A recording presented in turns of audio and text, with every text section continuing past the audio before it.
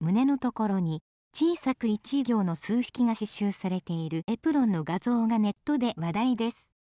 エプロンは妻からのプレゼントだったそうですが、気になって解いてみると、なんと、愛のメッセージが現れたそうなんです。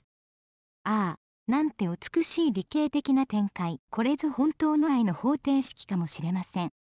投稿したのは、東京都在住で結婚7年目、30代の方の SHELFALL カッコアットマーク SHELFALL さんです。妻からエプロンのプレゼントをもらったんだけど、謎の数式が刺繍してあったので気になって増減表を書いてグラフを描いたら愛を感じたと4月25日につぶやいたところ26日午前で25万以上のいいねがついています。難解そうで思わずコンピューターの力を借りたくなるようなこの数式。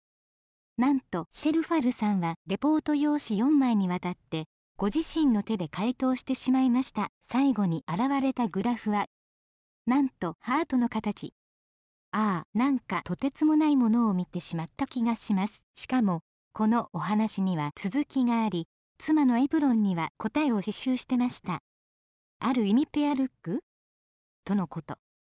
キャー、素敵すぎます。リプライ欄には素敵知的すげーなかっこいいという声が殺到。理系の人たちの恋模様を描くアニメや漫画の作品で描かれている世界がリアルに展開されていることに衝撃を受けたという反応も。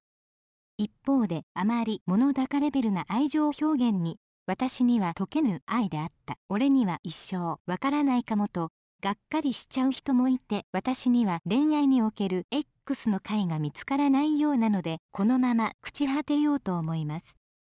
いやいや、そんなことはありませんよ。なお、問題を見て懐かしい。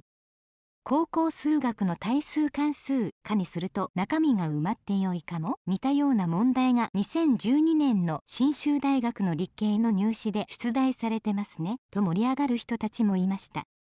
ああ、皆さんマニアックすぎます。投稿について、シェルファルさんに聞きました。この刺繍。本当にすごいですね。はい。妻が手作業でしています。もともと刺繍が趣味なので、自分のと妻のと2つ合わせて1から2時間程度で作成したと思います。何のプレゼントだったのでしょうか。ゴールデンウィーク中に私と娘の2人で妻に料理を作ってあげよう。という話をしていたのを聞いて私にエプロンを買ってくれました。